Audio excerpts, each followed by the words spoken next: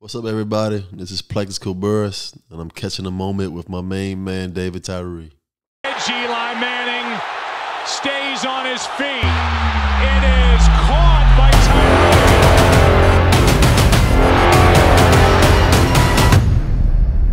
Tyree. Welcome back to Catch the Moment. It's your boy David Tyree. He back with another one. Got no other than this is family right here again. I call him the most dominant wide receiver in New York Giants history. We'll talk a little bit about how I came to that conclusion. Plax, what's good, my boy? What's going on, man? What's happening? Yeah, man. That's that's what that's exactly what I what I came here for. What, what's going what's going on, man? Well, listen, man. I appreciate you. You know, just taking some time to kick it with me. Totally enjoyed the conversation with the pivot. But um, hey, listen, man. That's what we're doing here. We're just talking a little bit of life, process, journey. Obviously, we shared a good a good portion of our life journey together, balling in New York.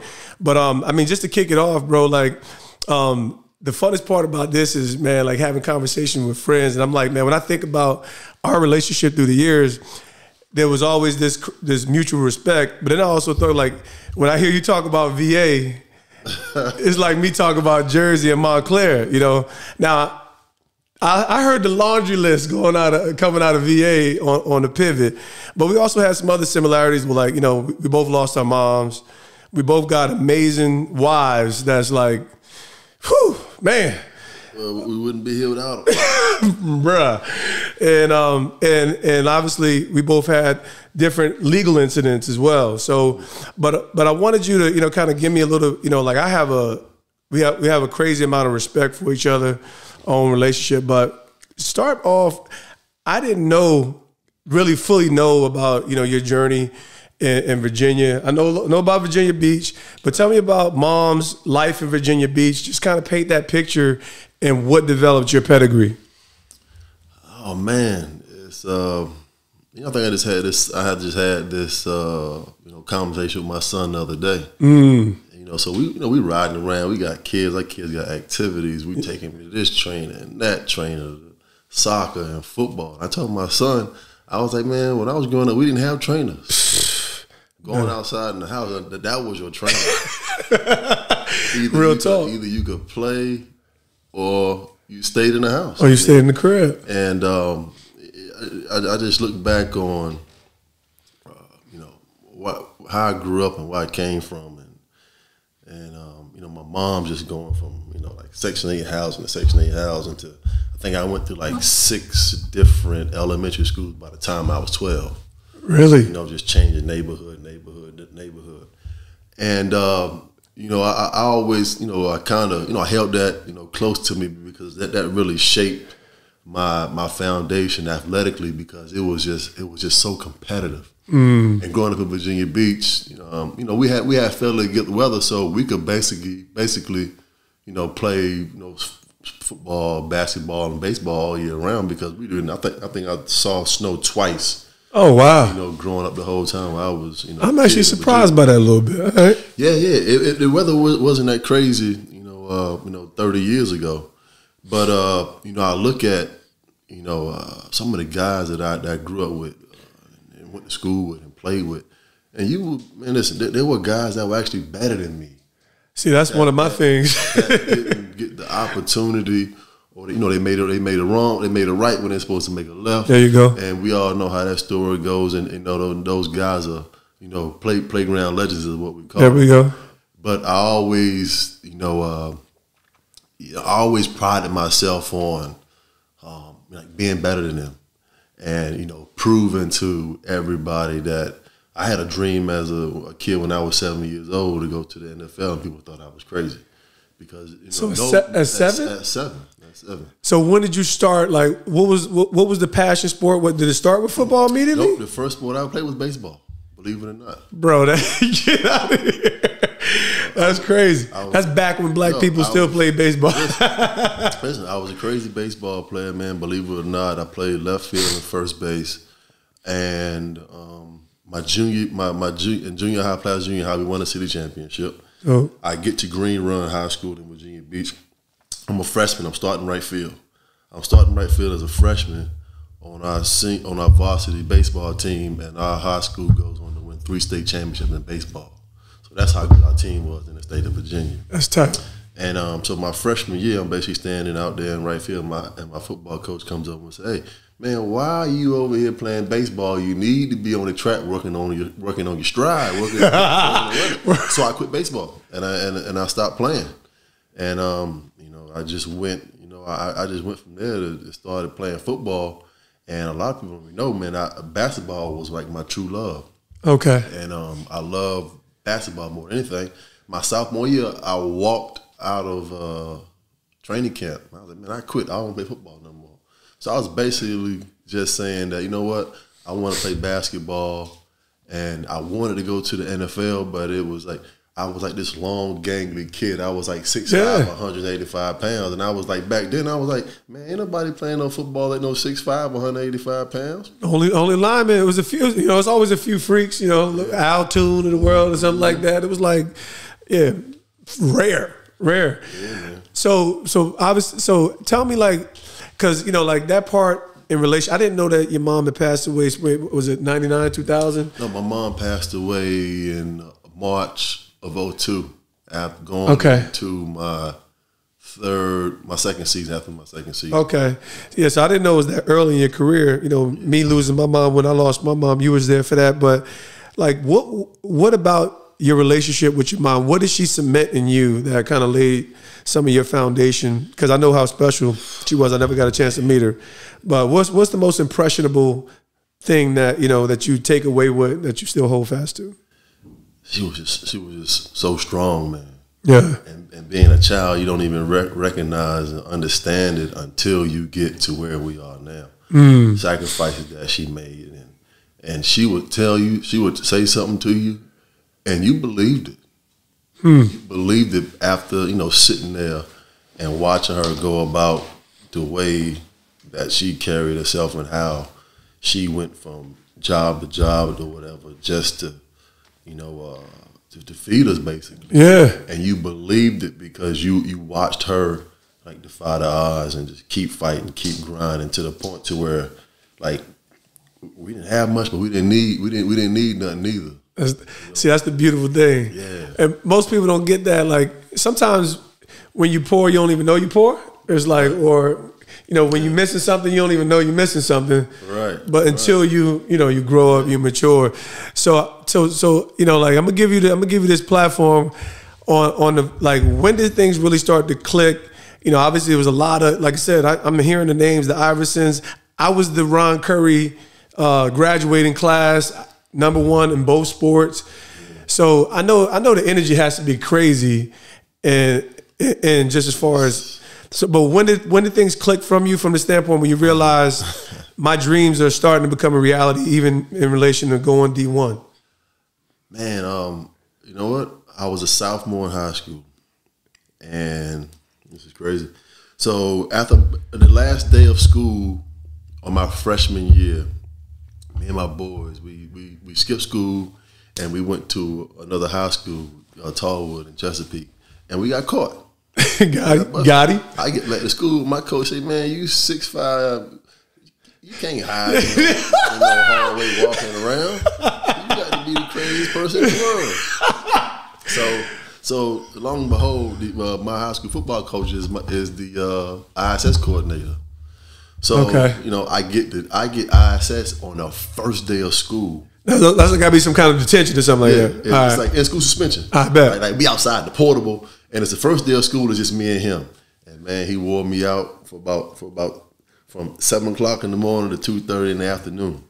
Drills, Uh, like just no, no, just, just On you. Just like man, look, look, look where you at. It's the first day of school, your sophomore year, and you and I ISS.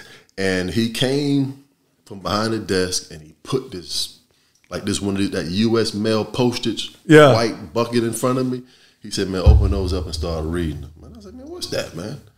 And when I looked in that bucket, I was what 16 years old, and there was already every college in the country in that bucket, and I was only and I was only 16 years old. wow, bro. I mean, Notre Dame, Florida State, Virginia, Clemson, Kansas. So you never saw it before that? I never saw the letters before that, and I was like, I was like, hold on, man. So you mean to tell me they think I'm good enough to go to college? He was like, "I'm telling you, that's what it is right there." So that that right there, Dope. it, it played a it played a ill, you know, part on me, and um, in a, in, a, in another incident, I remember. I mean, you, you thinking about the talent we had. We had Joe Smith was number one pick. Yeah. Um, you know, playing against Joe, playing against AI. Yeah. And I realized I wasn't that good of a basketball player. We ended up playing against Aaron Brooks in Ferguson High School and Newport News. And, know, I said, listen, I want to go out Aaron Brooks. He was like a McDonald's All American. I remember Aaron He- Brooks. And he scored 26 points. So, man, I was like, yeah. yo, he dogged me, yo. He dogged me. They won UVA. by 10. He was actually I don't know if he was my host at UVA, but he was right. He was I was definitely kicking it with AB. Yeah. It was special. he dogged me, man. Like I mean, I couldn't guard him, and I was like, "Yo, this man is really nice." And um, That's crazy. You know, you, you fast forward and you get to the to what you talking about. Um, I remember the, the, the first day of school, my senior year. I saw him go to my senior year, and I go to school, and on the marquee they have, you know, Blake Skillberg's first team All American, Yeah. Scholastic Sports All American, Parade All American. And I walk in the door, and my high school coach is there, standing there. He said, "Come here, put me to the side." And he he hand me, I'm like, "What's this?" He give me a plane ticket, Okay. right? And it's to go to Gainesville to watch the University of Florida versus Tennessee. Peyton Manning's coaching, Rita Hill, Nice. Fred T. Vaughn, you know, all of those guys. And my senior year, I was number one wide receiver in the country before the season started. Absolutely. Deservedly so. And then he pulled out my report card. Last in the country. Last in the country, my card said Eddie. Eddie. Like E D D E E D. Your report card had a name, huh? I put I had a name. and um, he said to me, he said, you know what, man? He said, you're the number one wide receiver in the country. But right now you can't go to college, you can't go nowhere. So so I want you to go see this. I had never been on a plane. Yeah. I had never left the state of Virginia. And I get down to Gainesville. My uncle picks me up from the airport. And we stop at just like a regular, like a tiny John or whatever you want Yeah. to call it. And I get out of the car and these kids are like, hey, Black Skull, you coming to school? I'm like, how, how y'all know my name? I'm like, y'all know me? I'm, This is back in the day. This ain't the internet popping like that. playing way in Virginia. That's crazy. And so I go to this game, man, and it's like the I don't know, It's like the first game of the season. Man, I walk in this stadium, and I, I was just you see eighty five thousand people, and you see all it, and it, it, players running on the field, and my heart like jump out my chest like Oh, sure. So I had to be at the swamp, right? it was at the swamp. Yeah, because because even back then, uh, so- Tennessee had a crazy big stadium. So I walked down. Man, I had never been in like a stadium or nothing like that. I was 18, and I walked on the field, and I remember, you know, looking at Steve Spurrier, and I'm like, Coach, so you mean to tell me that if I go to college and play football, I said, all these people gonna show up every Saturday. He said they're gonna be right here waiting on you. I said, yeah, I gotta get myself together. That's a bar right there, man. That's a I, straight. I went back home. I got back home Sunday. My coach picked me up from the airport, and he said, uh, "He said, what you think?" I said, "I'm going to college." Bruh. And I got back to school, and I made the honor roll for the rest of the year.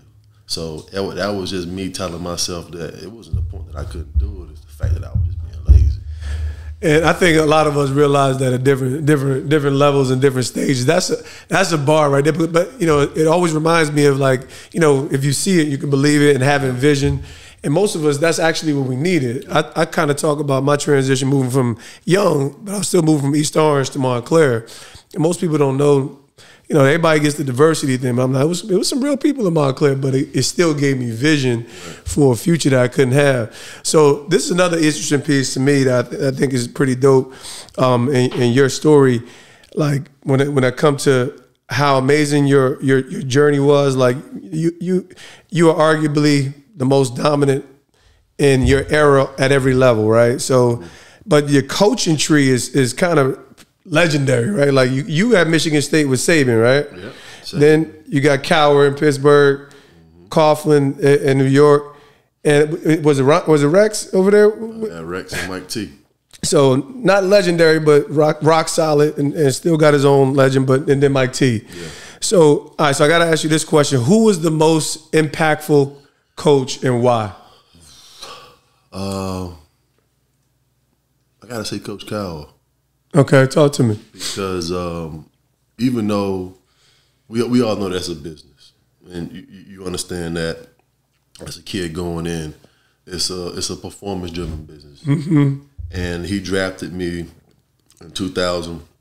I was Kevin Colbert's first pick. We had, everybody had basically all got there at the same time Got it. and and I I don't not one time did he ever make me feel let me feel like it was a business. He, he- he- he- it- our relationship was it was almost like a, a, a son coach kind of uh, relationship. Wow. And he never made me feel like a player. That's why it was all that was, that's why it was so easy for a guy like myself Yeah. and a lot of people to play for him because he didn't make you feel like a player. He was always asking questions. He's like, Yo, "How do you feel? Um, how are the guys feeling? What's the morale?" And he'd be like, "Coach, man, we tired." He'd be like, "All right." He'll call up practice. Man, all right, everybody go home and come back tomorrow.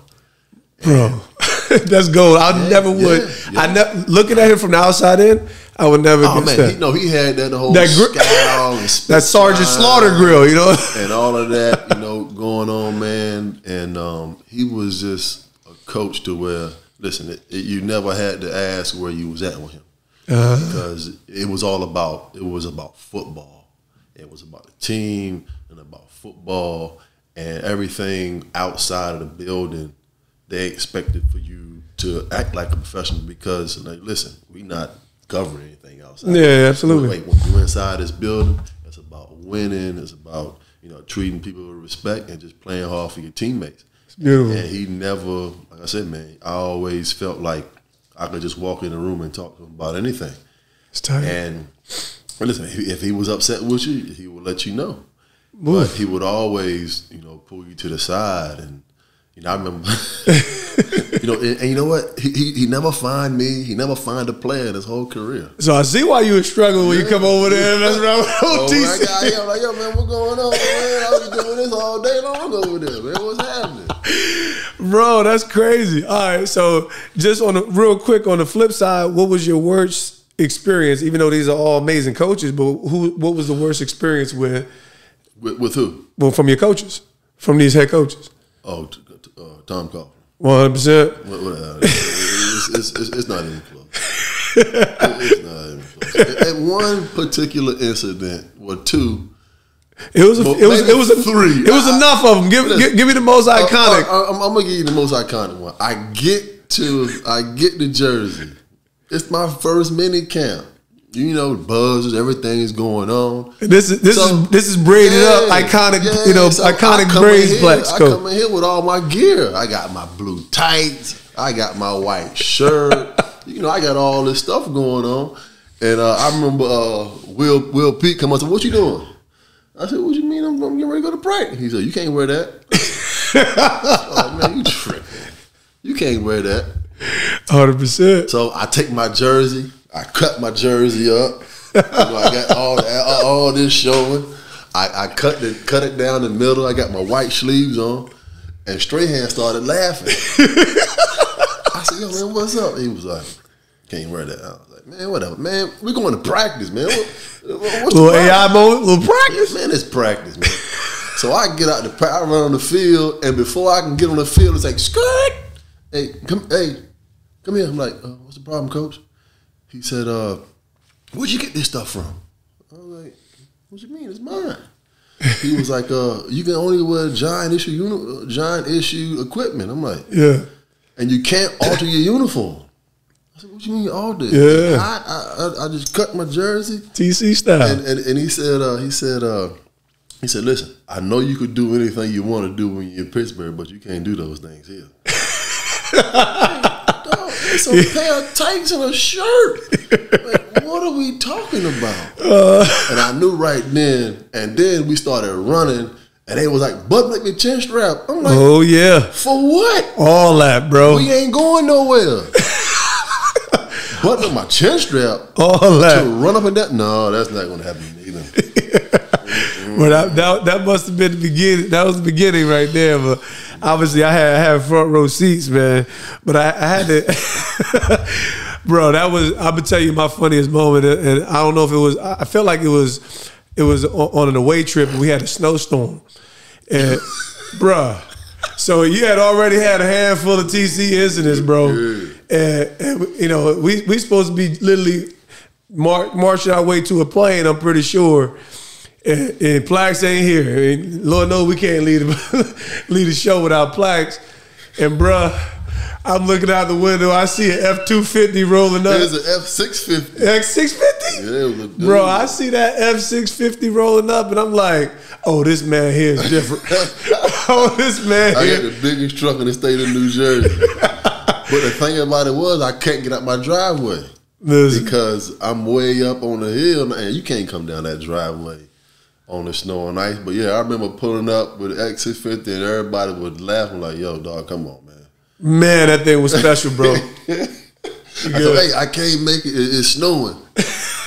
All right, fam. So, you know, I say you're the most dominant receiver in Giants history. I use that word. Monty had the longevity records and all that stuff. But honestly, it was it was for a number of reasons.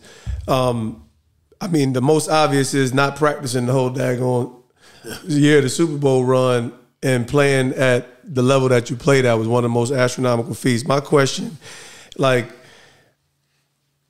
amongst that era, and I know it wasn't a cookie cutter 13 season, but it's still an amazing timeline of amongst that era and your receiver, who who who who was the most dominant? I know that you're the most dominant. You know, yeah, you you playing amongst Randy. I know that's a that's that stratosphere, but there's not dominant is different than you know good and prolific.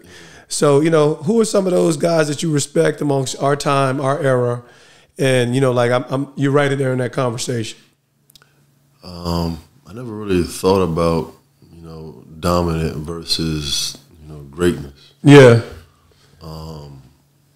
Man, I came in an era to where you know T.O. was dominant. that's dominant. Um, know, I look at guys like Jimmy Smith. Ooh, man, that's a name that doesn't come up too often. Respect. Jimmy Smith dominant. Um, such a, a, a little a little cat that had big time game with Steve Smith. Steve Smith. before he broke his leg was just he was out cold. He dominant. Unbelievable. Andre Johnson dominant. Agreeable. Um, it's a lot, man. Listen, Torry Holt, you know, Isaac Bruce, all of those guys. But I, I think when it came to if you put one guy on the edge Yeah. and you, you ask this guy, listen, when you're in a man-to-man situation, we want you to win basically ten out of ten times. Yep.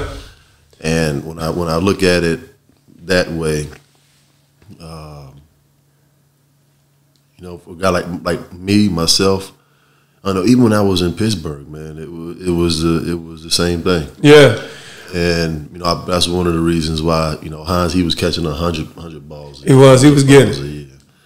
And you know, I, I didn't want to leave Pittsburgh, but you know, like I said, the business side of it got on, and I ended up you know coming to New York, and it kind of like fed my fuel, you know, a little bit more because they was they were saying that you know I couldn't dominate and I couldn't be a true one Bro. and and but you know you have to realize that when I was in Pittsburgh, man, you know it was a different generation. It was. You know we had you know Jerome Bettis, he was getting the ball thirty times a game. Different ball. You know we were going to have fifty five to sixty plays. I was going to get five or six attempts. Hines was going to get his five or six, Yeah. and we were going to spread it around. So Yep. I had never had the ball thrown to me ten times in a game. Yeah. The targets. Yeah. I mean, just the targets. It's crazy to see the targets some of these modern players are getting. It's, Yeah. it's out of control. So when I came to New York, I was like, man, I'm getting 13, 14 targets a game. I said, they, I'm like, yo, they in trouble. Bro. And, and, and then, you know, I kind of felt to where like, I was, you know, I was understanding, beginning to understand. Say, listen, if I'm not, if I'm not at my best in my offense, is is not going to be where we're supposed to be. Yeah. And I started taking it personal. It's good. Personal every, you know, uh, Sunday to go out and dominate. Yeah, I'm gonna tell you from the outside looking in and and of course, you know, everybody's in there competing. Everybody believes. But when you see somebody like yourself sh- show up, you know, even like you know, respect to At and Monty Toomer, it's like some guys you just got to acknowledge. I, I think my superpower was freaking self awareness. I knew I was good enough to play and, and contribute, but I'm like, I got to do something real extra to get some attention, right? So the most the most impressive thing that I saw you do was just honestly get better, even though you were still really, really, really good. Because from a guy like me, I'm like, the one, he can drop a pass and ain't nobody going, I drop a pass, I look bad. you know, and, and you know, it's not like I had like, you know, super grips, but I saw, you know, like that first year with the team, like it was some plays that that that you let go. But it I, I felt like I never saw it again that, that after after after that first season, I think it was 05 was your first year with us. Yeah. I'm like, this dude just got more better and better and better. So, what do you think was your superpower? I would even ask you. This is something I like to ask every guest.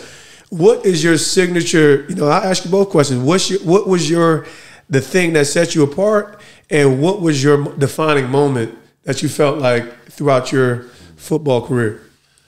Uh, I think that my game was able to flourish and go to a different level because I was beginning to understand the concept of, of a total defense.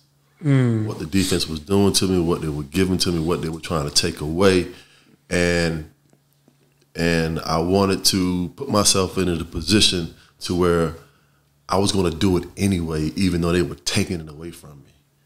And and my receivers don't think that way. Yeah, they want to run away from it like I would get inside man trail, I know I got to dig. Absolutely. And the easy route is to just go outside, get to the top, yep. and try to beat him across the face. I wanted to go inside, like off the line of scrimmage, to fight him to get in there. So, because if I could get in there and I wasn't supposed to get in there, I know the coach was going to be getting in. They cooking, boy. Hey, listen. Number one, and and I'm still doing what the defense is not letting me do, and it drove defenses and people crazy that I was able to to you know process that. I'm like, you know what? I'm just gonna do it anyway. Right. And then you know me and Kevin Gilbride and like he started to understand. OC, that. big shout to OC. He he started to understand that, and he started giving me the leeway. He said, "Lord, listen, if you're gonna do it that way, it better work." Okay. And then I was like, okay. Yeah. That ain't, that ain't no problem. I'm still, listen, I'm, listen, I'm still getting to my depths. I'm still getting to where I got to go. Absolutely. I just wasn't doing it the conventional way. I was doing it my way, and it was still, and it was the, the, the end result was what it was supposed to Y'all be. Y'all was getting that good home cooking. And he gave me. He was the first coach that I ever played for, offensive coordinator. Yeah. That he wasn't a he wasn't a screamer. Yeah, he was. He got to the point to where like he would talk to me and he let me go about my my job based off my athletic ability, and he didn't put me in a box. And he was like, "Listen, if you're gonna do it, yeah, it has to work." He was fantastic. He, he was fantastic. Even that year that one, yeah, it was it was it was it was your first year with us. I I won that third wide receiver coming out of camp and you know just didn't work out. They wanted the guys, and, and you know had some rough trips, and that was still a young emerging Eli yeah, at the same time too. So you know, bring me into what what you think was because you you did move from chess to checkers, and I don't know if that I think more. I mean, like you were dominant and, and balling in Pittsburgh, but it was clearly that emerging. Like you know, you, your your mindset, your approach was different. So, what about that? What you say is your defining moment? I figured out nobody could go at me one on one. And that was the That'll ball, do. And that was the ball game. That'll do. I think once I once I found that out, and playing playing against everybody. Yeah. Champ, Charles Woodson. Yeah, some monsters. To uh, uh, what's my man uh, in uh, Green Bay. Um, oh, Al. Yeah. Al Harris. Once I got to the point to where I, I figured out that, you know, I, I was playing a game one on one and they were afraid of me, but I didn't. I didn't. Really, I didn't know how much they were. Got it. because they were like nobody I got you. wanted to be in a situation where they were playing one on one with. Yeah. And I I I I, I kind of mastered getting off the line of scrimmage and bump and run to just basically just you know getting my shoulder, getting my foot, uh, you know, one foot uh, upfield ahead of them, and I didn't have to be three or four yards ahead of them to be open. If I got a guy on my shoulder, yo, just give me the ball right here. Boom. I was open, and we and we actually made the fade stop like a play. Oh, It- it- absolutely. It, used to be an adjustment that we would make. Bad ball and, adjustment. And we actually started just calling it as a play. Yep. And it drove people crazy because listen, if I'm playing over the top, Cooked. That's all day. he's he's coming back to get the ball. But if he gets on top of me, it's a, it's a home run. Absolutely. And um, once I once I started understanding man to man off the line of scrimmage what what they what those cats could do, Yeah. it, it, it was like nobody wanted to play single high anymore. All right, so you got to give me. I want to hear what what was your what would you say? I mean, like we obviously won the Super Bowl. You got the game winning touchdown, but you also had a lot of man, bro. You had a lot of accomplishments. So, what was the signature moment for you throughout your career experience as as an athlete? I mean, the shining moment, bro. Signature moment. Um, I just I gotta say Green Bay. Man, I'm so I- I, am I- so glad you said because I- it's so easy to say the game with a touchdown, bro. But that's when I knew. I gotta say Green Bay. That's when I said we got. I don't care what nobody said. I mean, like you was already boss. That's what I said. We have the best receiver in the league this year from that performance. Meaning, like you, you was good. You was good by me. Yeah, I, I remember, you know, going into that week, and uh, Sam was messing with me. Sam was, "Hey man, Al said he gonna shut you down." I was like, "Man, go ahead, man. I ain't trying to hear that." So then, I, mean, I, remember, I remember the two, like the Tuesday, he got on, stood up on the podium, and said, "Yeah, I'm gonna shut him down if he come to Green Bay." I said, "Oh, like, see, I always miss the sound bites. I is- oh no, this is great. me?" man, I broke him down so bad on film to the point to where when he stepped on the field and tied his shoe, it was already over with. bro. But You might as well got back there, tied his locks up, Man. ran rounds around him. And then I think uh, you know for that, you know, I I had lost two. I had lost two AFC Championship games to go to the Super Bowl. Okay. That was my third championship game in seven years. See, I never think of this stuff. And I'm saying to myself, man, I know how bad those games hurt when you lose them. To be right there, staring at the door, and you don't get to, you know, open it and see what's on the other side. Losing those two championship games. I said to myself, I said, man, listen, I'm not. I don't care what I gotta do tonight. I'm, Yeah. I'm not losing this game and going back home. Bro, you can't. that, and that was some of the motivation too, because you know, I had a chance to go to three Super Bowls in like seven years. but we ran in New England, Yeah. and I was like, I got to get out of the AFC because ain't nobody beating them no time. So, so I came to the NFC and ended up running into them anyway. I will say you made some, that was that was a hell of a business decision. that was a business decision. Come on over to the. To, I'm grateful for it, man. So you know, I've always, like I said, we I've always had this solid mutual respect. And I'm I'm be honest with you, like you know, y'all, everybody knows me in relation. Like the, the the people who knew me knew me in relation to being a man of God, being a man of faith. But you never know the kind of impact. I always respect um, guys who just the best at what they do, and um, I always had a good relationship with the guys in the room, it was always solid.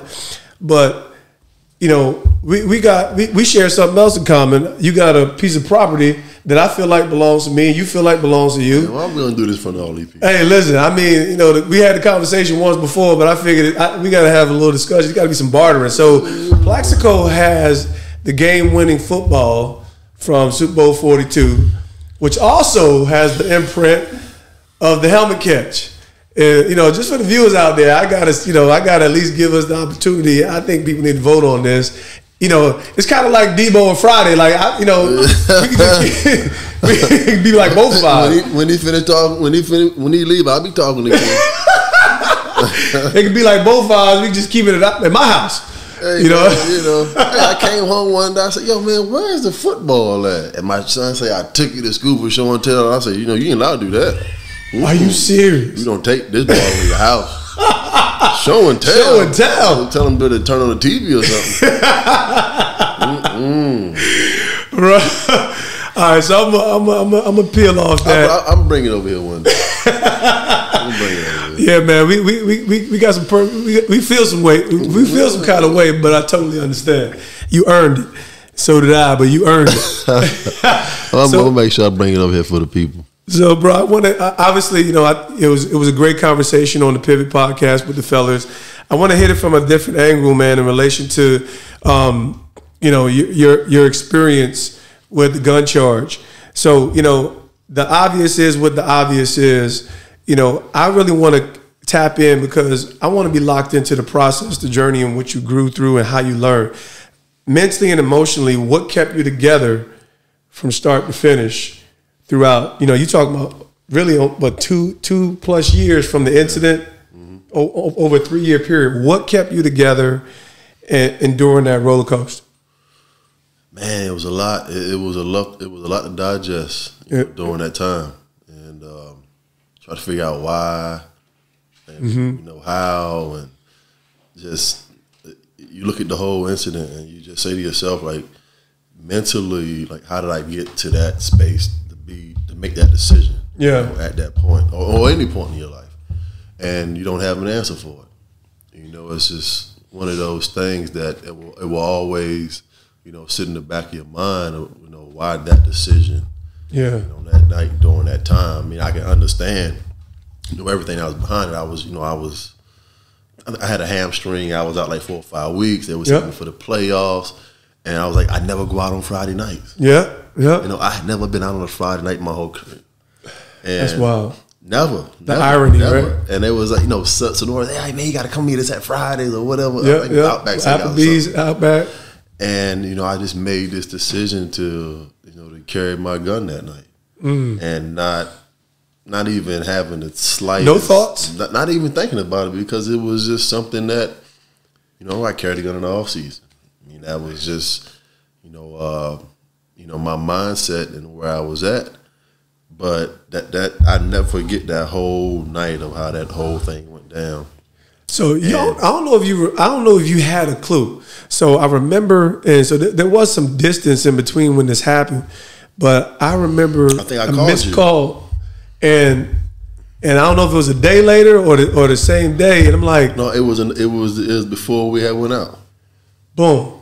So then the news break, and I'm like, because I was bro, trying to, I was trying to get everybody to come out to the spot. Boom. So I'm wondering when I missed this call because I'm like, then the news break. I'm like, man, I'm man, man, maybe the only thing he called me for was a prayer because you know, like that's about the only thing I could have did. this was actually before I even got to the restaurant. Got you.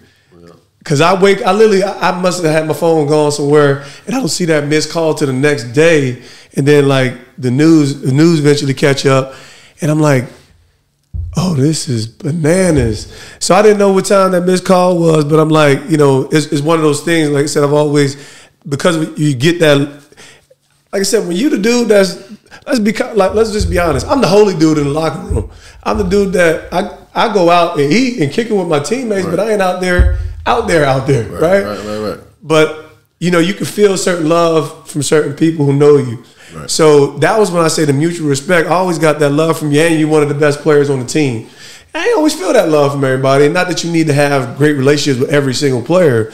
So getting that missed call, I'm like, man, that was something that I always remember. Like, man, I hope everything, you know, of course, everything was what it was. Who were the people, right? So I know everybody, different people play different roles, and you're going to have a lot of support because people were for you through that process. Who were some of the people that were integral to just really holding you down? Obviously, your wife, but other people that really kept you together during that time in prison. I talked to you a couple times at least, yeah. but you know, I, I always, you know, you I, I, had a guilt in my mind, like, man, I hope this dude know how, how much. You know, it just is what it is man, it, it, was so like my support system was so incredible. It was just overflowing of just everybody. Yeah.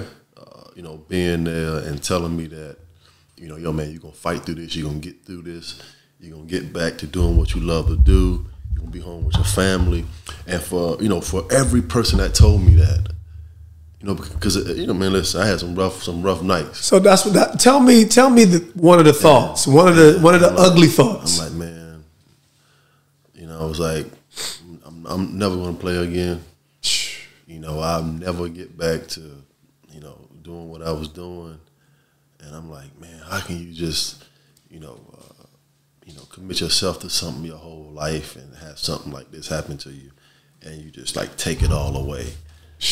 And I was like, man, nobody's going to give me an opportunity. Did you ever have the cycle of the blame game? I mean, like, because you know, obviously people play their role, whether it's executing judgment, courts, you know. But you're grown now. You kind of sound like you've come to terms. You've owned it. You know, you know, we know what we did is wrong, but we didn't know certain things. So, how did you cipher through the blame game? And you know, did you always like just come back to center? How did that work? I mean, the blame game was just. I think that was the most prevalent thing. Okay. Right there because it, it was only myself, Gotcha. and I had to come to peace with that first.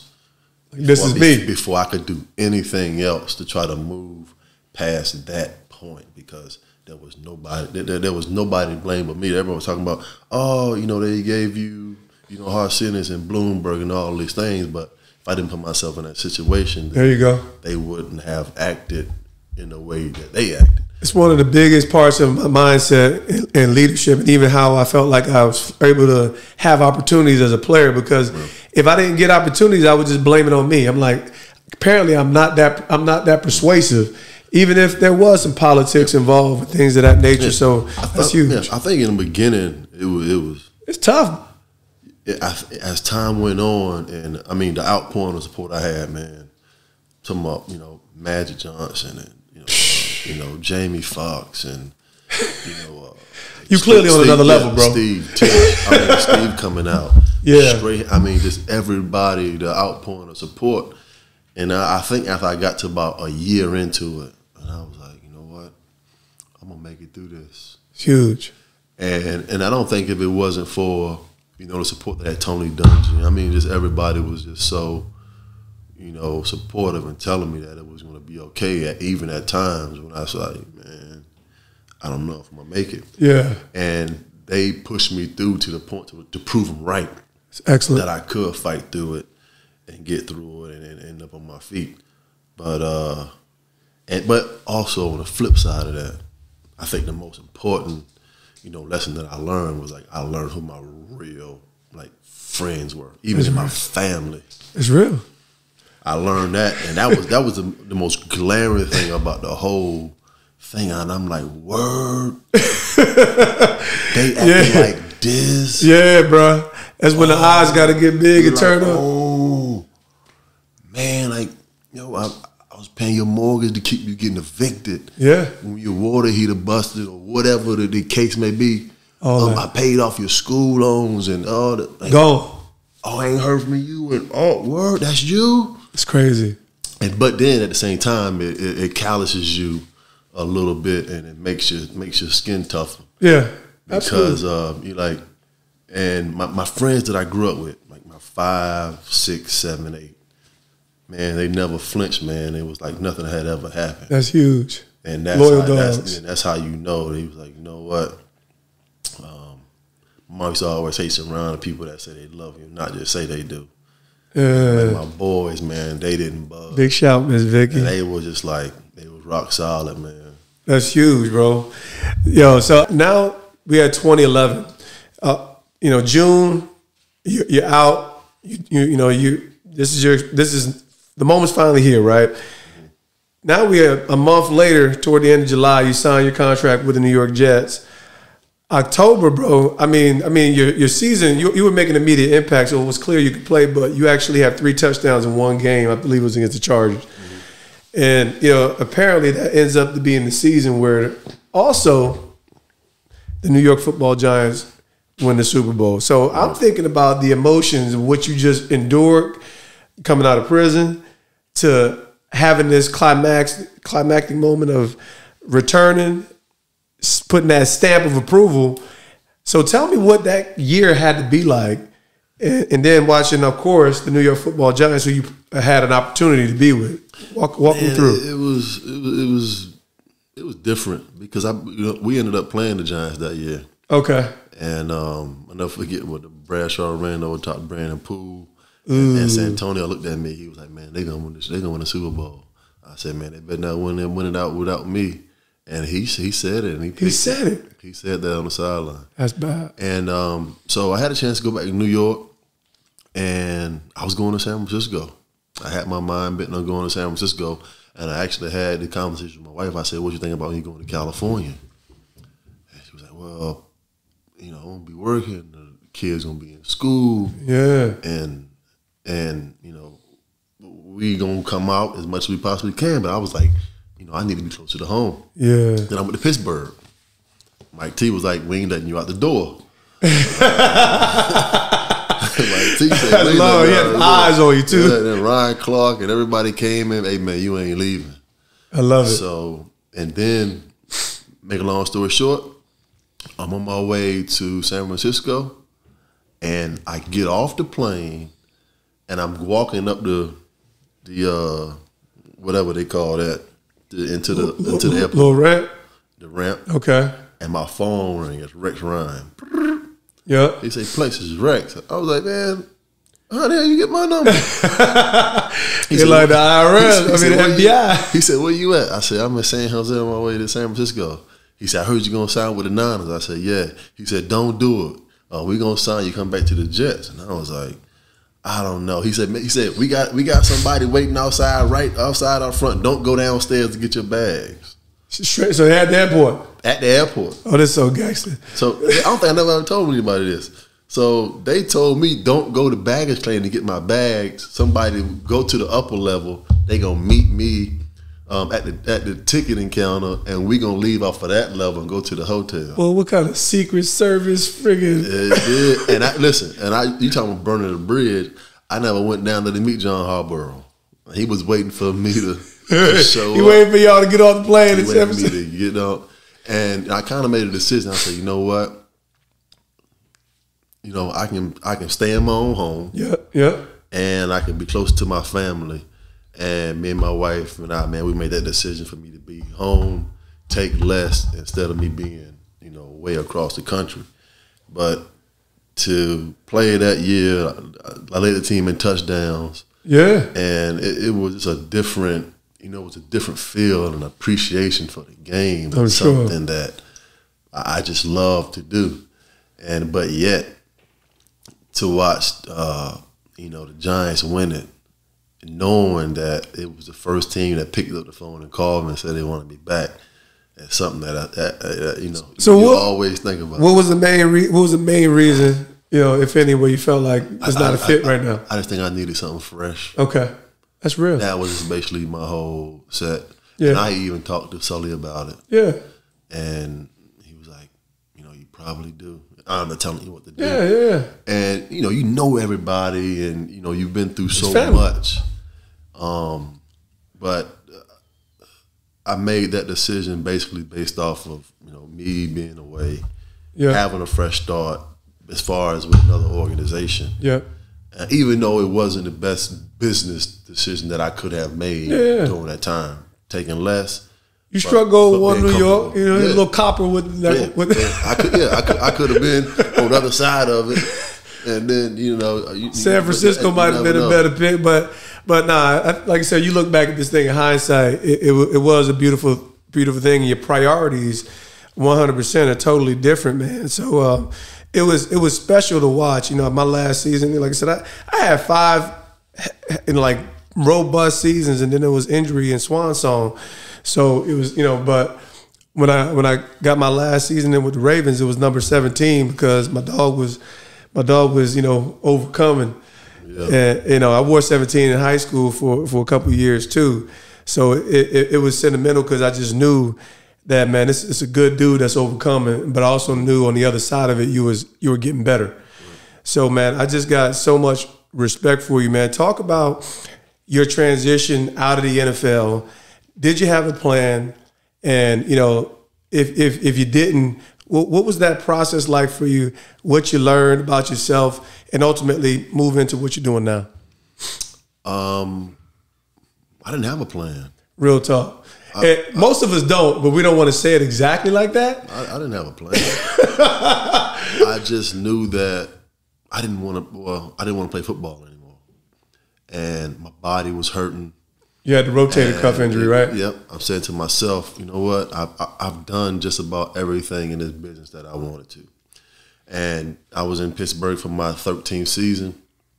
And, you know, I fall, I tear my rotator cuff, and I'm like, you know what? I'm done.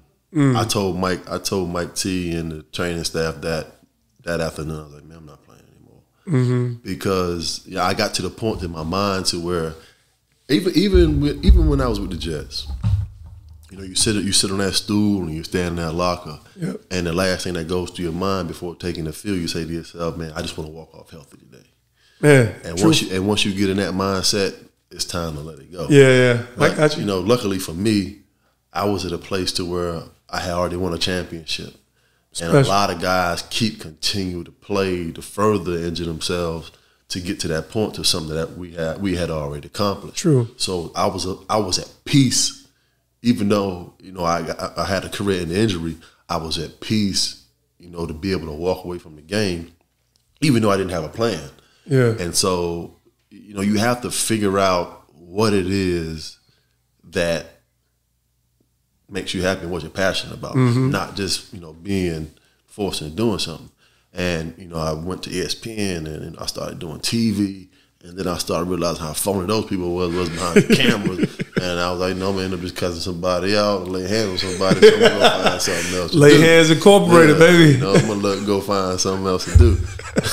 lay hands incorporated, LLC and yeah, man, just kind of just finding my niche, and I kind of came into this thing to where, you know, um, you know, I wanted to, to own something, and I wanted to not just for myself, but teach my kids about ownership yes, and and how important it is. Like everything that I'm doing now, this is huge. it's just a jump start to really just put them in a place to so they can understand how important it is, and not just to see their father as just you know a football player, you know, playing the Super Bowl, all those things which are great, Absolutely. but at the same time, them seeing that okay, um, you know, my dad was able to walk away from football and, and, and to be a business owner, Yeah, and and that's something that I I, I'm, I pride myself on yeah, because I know that you know my, my children are so gifted athletically that they're going to have an opportunity to go to college or whatever the case may be, God willing. yeah.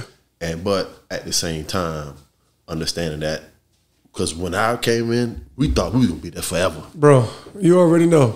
I mean, like you know, and, and they, they already they already mentally try to prepare you. Like, hey, man, this ain't gonna last forever. And different people have unique opportunities. Obviously, you had a freaking, uh, you know, a, a amazing career.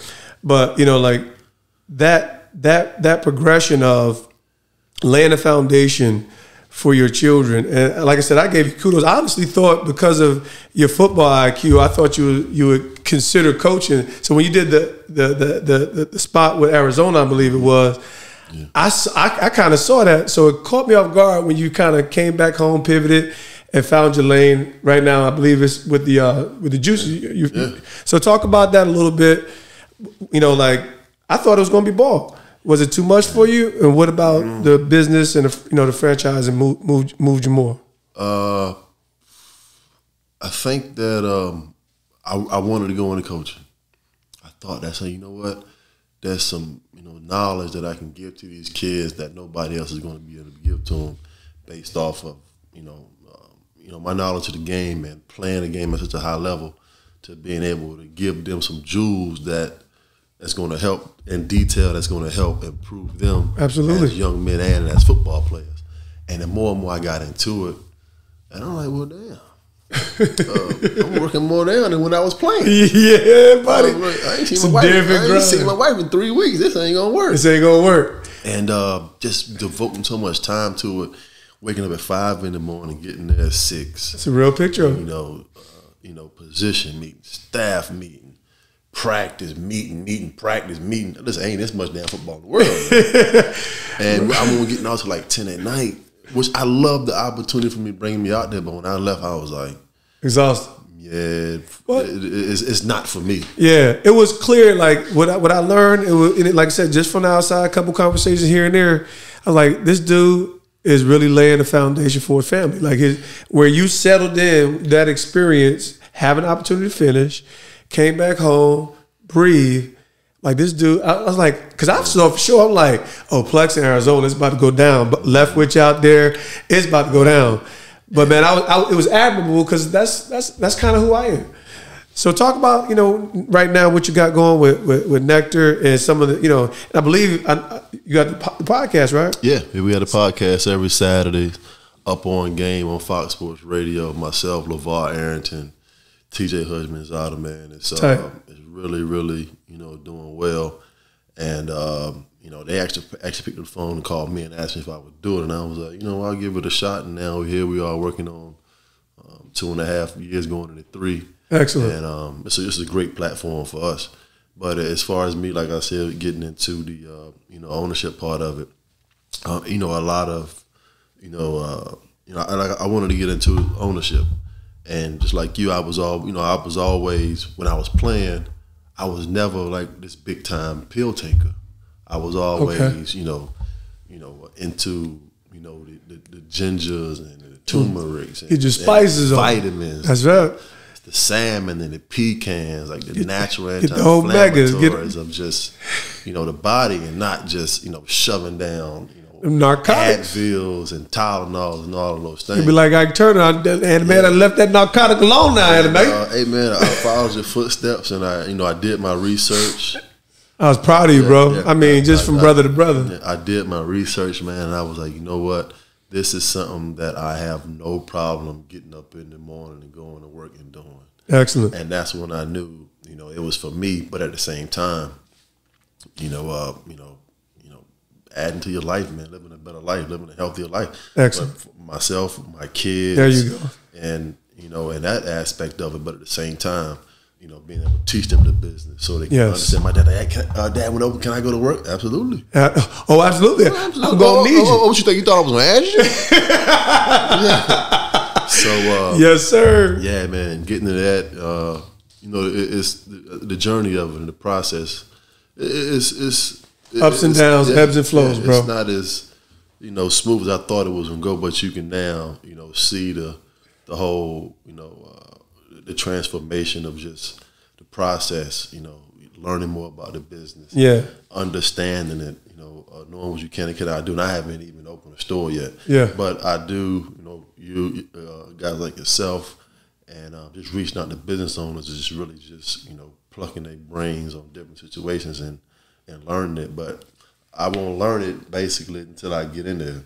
It's gonna be real. But, uh, but you know what? You built for it though. Yeah, you know, I, it's something that I want to do. Yeah, yeah, yeah.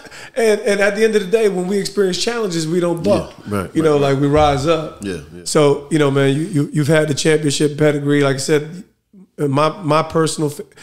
I, I just know you're the most dominant guy. To actually, people don't understand what to not practice an entire, almost entire season, to dominate, to miss football for two two full seasons, come back and be one of the best receivers in the National Football League.